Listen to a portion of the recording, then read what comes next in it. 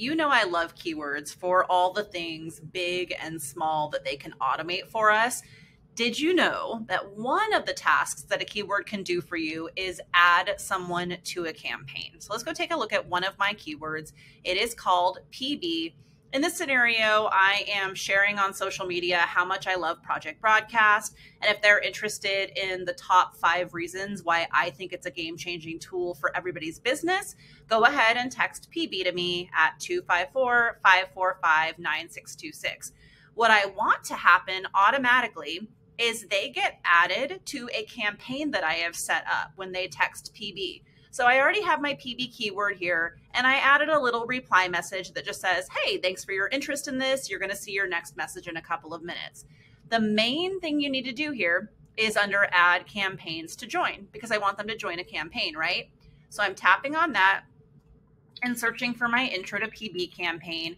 It's this time lapsed campaign right here. It's a very quick introduction to Project Broadcast. So I'm selecting and adding selected. So you can see now the keyword's job is to reply right away and add them to my campaign. So I'm going to go ahead and text PB to this number right now so you can see what happens.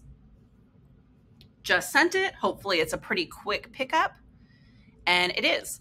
So I texted PB and they sent the reply message right away. What I can do now is take a look at when the rest of the messages are scheduled to go out. So I'm going to come over here to my schedule and I am going to use the magnifying glass to take a look at my intro campaign. Select and confirm and confirm. And you can see now that I am scheduled to receive a message every few minutes. There's going to be a total of five messages. And at the end of the time, my hope is that this person will sign up for Project Broadcast. They think it sounds as awesome as I do. I hope that this tip about using a keyword to automatically add somebody to a campaign helps you out. Thanks for learning with me.